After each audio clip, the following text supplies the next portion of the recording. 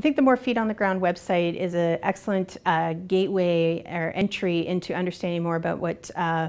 uh, we can do as a community to provide uh, support to students around mental health. I think it provides a good opportunity to educate ourselves, to build some skills and some understanding, um, and can um, help elevate people's comfort level around uh, talking about mental health. And in doing so, I think has a, does a a great piece at, at trying to reduce the stigma as associated with it as well. So I think there's a couple of different opportunities that people can take advantage of, of the website in order to, um, you know,